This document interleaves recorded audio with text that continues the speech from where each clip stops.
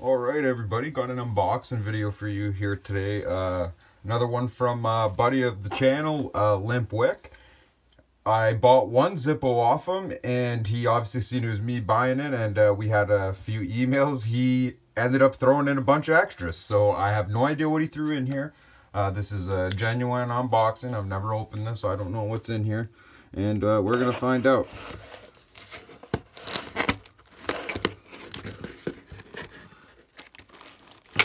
see here. Well, let's see here. Hold on, let me put the knife down.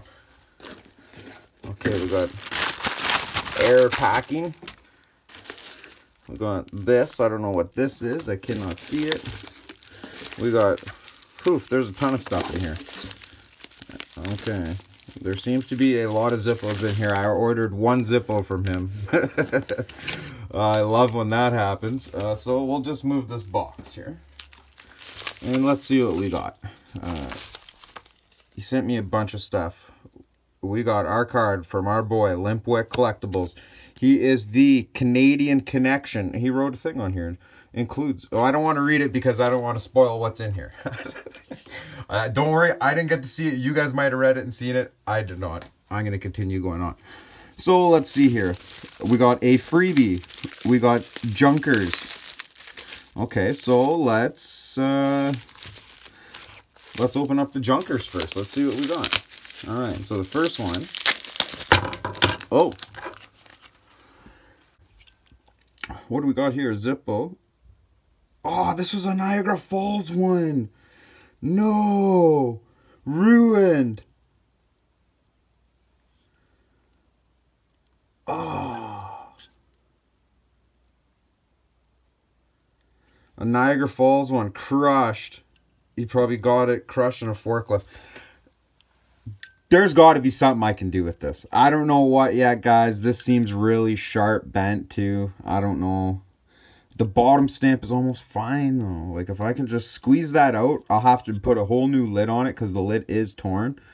Uh, I could use it for parts, the hinge or something.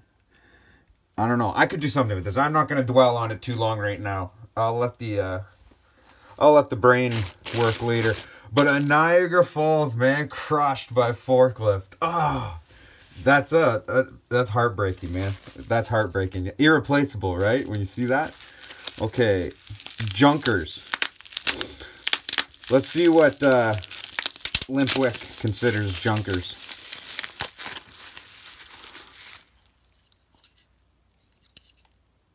Edwin, Japan. Oh, cool. One of the older Japan ones, too. This is definitely one of the older ones. Oh, that's pretty cool. So, that'll be something fun to do with on the channel.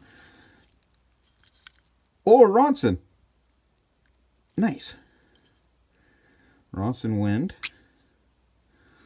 Oh. Oh. No way, look at that insert. Oh, I can't remember what year these are from. But these are really cool, man. I'm going to fix that. Oh, no. I can't fix that. There's not even the hinge there. Now, I wonder, does that insert fit in a Zippo? Is that the same size as a Zippo? No, I don't think it is. Limp Wick sending in the cool stuff. So, okay, so what I need to do is I need to take a hinge off a broken Zippo.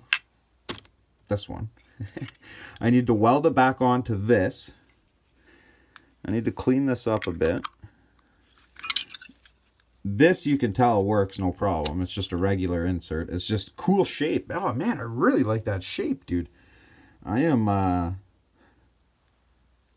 I'm thinking a lot of things in my brain right now seeing this cool insert. Okay, all right. So that was another one from Limp Wick, man. Thanks a lot, Limp Wick. Really appreciate that, dude. I love seeing this cool new stuff. Man, that is so cool. There, uh, oh, the hinge is in it. It fell out. I didn't see that. Okay, so the hinge is there. Oh, and it's in good condition. It's just got to be re-welded. Good news, guys. Good news. Good, good news and that will be a video. Like, see how cool Limpwick is? Now, that'll be a video everybody wants to watch. Who wouldn't want to see how to re-weld the hinge back on? Uh, this is really interesting. And guys, I'm uh, I'm in love with the simplicity of this insert. Uh, I have to tell you, because like uh, I remember we were talking about making my own inserts uh, in a video, and uh, seeing this, this would be a lot easier to make and a lot cleaner looking. It looks cool too. Really like that. Uh, in the works. Definitely something in the works. So those are the two junkers from and this is the freebie. This is what he this is what he threw in for free. I don't even know what it is. Okay, so it's anywhere between a 67 and a 87 or 86. Let's see what the insert tells us. Insert tells us it is a late 70s. Nice. Uh, it's a late 70s because there's sorry, I didn't explain why it's the late 70s. It's late 70s because there's printing on both sides, and it's got the squared off cam right there. Uh, significant with the late 70s. So that's pretty cool. Brushed brass. Uh, oh, it's got initials on it. It's got initial. Oh, that's a really tight hinge too. Huh, I like that. A little bit of an overbite, not a big deal. I could fix that. Uh, all good. It's only in the chrome too. If I polish that chrome off, this would just be a regular brass lighter. I really like that too. PJH. Who's PJH? Maybe it was someone famous. Some famous Canadian hockey player or something. And then this is the one I actually bought. He he threw in all this stuff. This is something I actually bought. So here we go. Uh, and there is a surprise too. I didn't want to open it because it's not a Zippo or anything like that, but it said collectible on the package right there. You can see it a little bit. I don't know what it is. I want to save it for last. So stick around, guys. Uh, we will find out together. Oh, this is nicely wrapped. I didn't rip it in the right spot, so I'm opening it like a dummy here. Okay. All right, so this is really good shape. Uh, this was a high polish chrome. Uh, Niagara Falls. This is a 1998 H, August. Uh, so this is two years older than my son. This would have been his birthday Zippo. Wow. Uh, so that's why I always say I like the high polished chrome because you get that good look and you get the scratches over the years yourself. I really like that. Uh, that's my favorite thing about it. Uh, this is a really cool Zippo. This is the one I wanted. This is the one I ordered. Uh, I'm really impressed with that. And uh, let's see what the insert, insert looks like. Okay, yeah. January from a different year. Not a big deal. The inserts don't matter, but it is a Niagara Falls. It's got a red flint in there. You can see the it's a like a Bic flint with a red coating on it. Huh. So that's pretty sweet. And uh, Look at that hinge. No play on that. Barely little play. That hinge is in mint condition. The inside of that case is amazing. Uh, very clean. If you've seen my other unboxing videos, even the steel on this is still very high polish. Very good shape, man. This lighter was barely used. It was used. Someone did enjoy it uh, for a period of time. Uh, the cam's really good on it.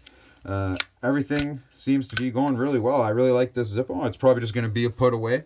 Uh, that's what I ordered it for. But I figured this, uh, you know, late 70s one, I'd probably, you know, do some custom work too, make it one of my custom Niagara Falls. So now with that all being said and out of the way, we have one more. We have one more package to finally open here. Uh, I Like I said, I don't know what this is. I'm going to try to be very gentle with it because I do not want to break it. It seems very light. It seems very light. And, uh, what is this? Collector's Display Flames. I've never heard of one of these. That's cool. Uh, website, uh, Rose Art Lighters. Email address, owners, roseartlighters.com. Uh, gifts of lifetime elegance, Rose Art Co., Bradford, Pennsylvania. Lincoln Ave, Bradford, Pennsylvania. Huh. 2004 under license from Zippo Manufacturing. Huh.